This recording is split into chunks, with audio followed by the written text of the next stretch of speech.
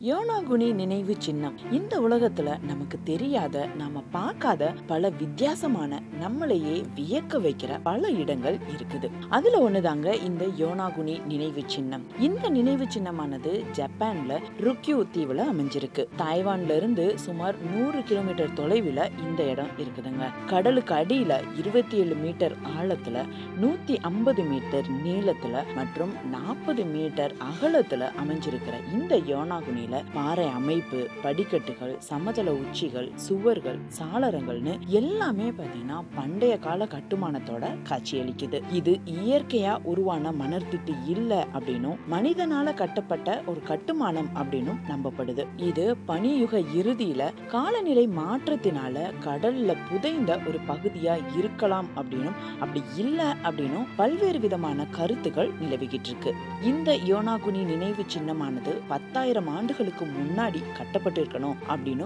விஞ்ஞானிகள் சொல்றாங்க. ஆயிரத்தி தொள்ளாயிரத்தி எண்பத்தி ஆறாவது வருஷம் ஜப்பானிய நீர்மூழ்கி வீரர் கிஹாசிரே அரட்டேக் அப்படிங்கிறவர் இந்த கட்டமைப்புகளை முதன் முதல்ல கண்டுபிடிச்சாரு. அப்போதுல இருந்து இது தொடர்பான பல விவாதங்கள் எழுந்துகிட்டே இருக்குது. இன்றைக்கு வரைக்கும் இது இயற்கையா அல்லது மனிதனால உருவாக்கப்பட்டதா அப்படிங்கிற குழப்பமும் இருந்துகிட்டே தாங்க இருக்குது. காரணம் இந்த நினைவு சின்னம் அமைஞ்சிருக்கிற இந்த யோனாகுனி பகுதி நிலநடுக்கங்களுக்கும் கடல் அரிப்புக்கும் பேர் போன இடம். இந்த பாறை அமைப்பானது தொடர் கடல் அரிப்புகளால இப்படி ஆயிருக்கும் அப்படின்னு சில விஞ்ஞானிகள் விவரிக்கிறாங்க. ஆனா முறையா கட்டப்பட்ட கட்டடக்கலையும் அந்த சுவற்றுல வரையப்பட்ட ஓவியங்களும் அந்த நினைவு சின்னத்துல காணப்பட்ட சில உலோகங்களும் கருவிகளும் இது மனிதனால உருவாக்கப்பட்டது அப்படிங்கிற வாதத்திற்கும் வலு சேர்க்குது. அந்த பகுதியில இருக்கிற மக்கள் இது அசுரனால அல்லது வேற்று கிரகவாசிகளால உருவாக்கப்பட்டதா இருக்கலாம் அப்படின்னு நம்புறாங்க. இது சொர்க்கத்திற்கும் நரகத்திற்கும் இடையேயான இடம்.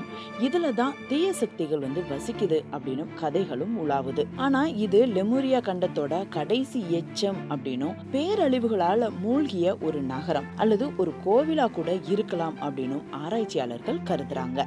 எத்தனையோ அறிவியல் முன்னேற்றங்கள் வந்தப்போவும் கடலுக்கடியில இருக்கிற இந்த பாறை அமைப்போட தோற்றத்தை யாராலையும் இன்னமும் கண்டுபிடிக்கவே முடியல. இயற்கையோட ஆச்சரியங்களுக்கு அளவேதுங்க.